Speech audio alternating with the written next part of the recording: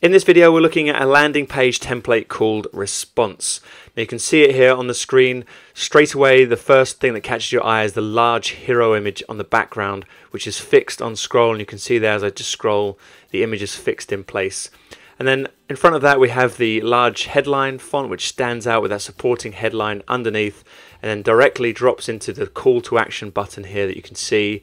And when we click on it we have the overlay optimizer pop up with uh, opt-in form inside so you can capture leads directly through that opt-in form and then below that you'll notice we have a small little play icon and this can be used if we click on it, it opens up the overlay optimizer and you see we've got video content inside. So we're using two call to actions here. We have one for the email and then we have one for the content.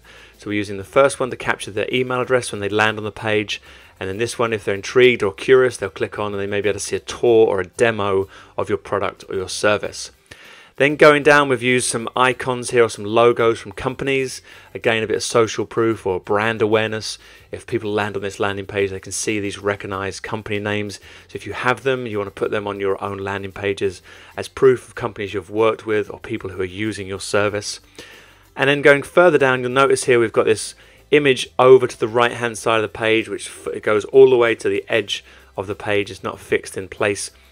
Um, it goes way to the edge of the screen, so if you're on a large screen, it'll keep going to the edge, and if you minimize this down, it will actually, you know, on a smaller screen, it will still be seen. If you go down to mobile, it'll actually disappear. So this image over on the right here is there on the browser on a desktop and on iPads, but you go down to like uh, my mobile devices actually removes okay? So that's it's quite a nice touch means you can still read this text on the left here when you're on a mobile device. You can see here we've put a headline above with a small text block underneath and some custom icons that we've created just to highlight different benefits. Now you'll notice with this template as we scroll down we go to the left hand side of the it was the image which brings the eye over to the right hand side. As we go further down again it does the same you can keep using this structure as much as you like just to break up the content. If you have product shots, you want to use them in these so people can see different products or different parts of your product. Maybe if it's a DVD and you have ebooks, you could show different courses or different modules in this way.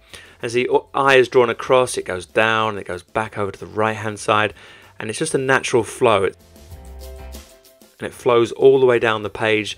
You can see we've kept that same color contrast in every row as well. We're using the same blue icons, which matches our blue designs that we've got.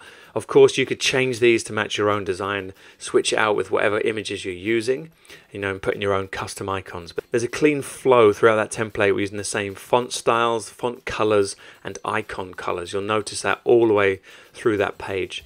Now, as we go further down, we've included another row here, this time with another image in the background. And again, we've put in that little tiny call to action here on the little play button. Above that, we've obviously got the, um, the testimonial which has come through. People will stop and read these testimonials, and if they click on this, again, they could either see a testimonial or this time they could see another tour of your product. You'll notice this time on this overlay optimizer, we've kept the video in place. So you could play around with that if you like. You could change this to match the um, overlay optimizer at the top where it comes flush to the edge of the overlay or you can obviously put content inside and have a border on it. So you can two options there. You can play around with your overlay optimizer. Um, going further down, we've got a simple four column row put in here with some text showing some stats, some numbers. Maybe you have some figures that you can use on your landing page to encourage people to maybe click through or to opt in. And then going right to the bottom, we have that last call to action again, set on the white font and that darker background so it stands out. And again, that blue color, when we click on it, we have the opt in form. Got the progress bar in it again, headline, and then we've got a place for your name and email. Again, keeping the colors throughout this overlay optimizer and this template. So it's a lovely design. We've kept it very clean using all the same colors, but you can freely mix it up do what you like with this template. I'm going to show you how to quickly edit these images that you see here. Okay, so if I open up the live editor, okay, now here I am inside the live editor, and what we'll do, we'll scroll down, just look at this first row here with these iPhones you've got in the background. Now this is a simple background image. The image is set um, to the right hand side using some CSS. So what I'll do is I'll show you the image first and then I'll jump in and show the CSS. So we have the image here. Now you can see the image itself is a large image still and the image, the main part of the image is set over to the right hand side and if I sort of drag this onto the darker you can see if I drag it there you can sort of see the size of that image okay? So the image is still set over to the right in the actual image itself but then what we've done is included this CSS class you can see here that says background right. Now what that does that fixes the background in that position over to the right hand side. So it doesn't allow it to stretch or it doesn't allow it to tile across. And we also have you can see here at the bottom we have cover and stretch set here so what this is doing is just fixing that image over to the right hand side of the page. So we've used this background CSS right and obviously for the images on the left we're using background CSS class which is just called left. So if I go and look at this one you can see here background left. So same with this image, again this image actually has a lot of white spacing over on the right so there's a sort of image, I'm dragging it in here so you can sort of see it. The image does have a lot of white space on the right so that pushes pushes obviously over to the left. But then we use this the background CSS to fix it on the left hand side which pushes it flush to the edge of the page. Okay now I'll show you just the CSS where that is included. If we go to page settings here and inside other scripts expand this down. Now inside here this is the CSS now the first part of CSS here is where it says body attachment fixed. Now that's the first hero image, that's the main background image that you saw at the top of the page.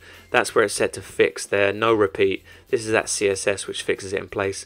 And you can see here we've got the background um, right position and the background left position. So they're the CSS telling that image to tuck over to either left or right hand side. So if you know a bit of CSS you can obviously play around with that. But that's it, that's the template. It's called Response. It's available in the Clubhouse now. You can download it. And as always, we'd love to see it on your site. Drop us a tweet or share on Facebook so we can see it live in action.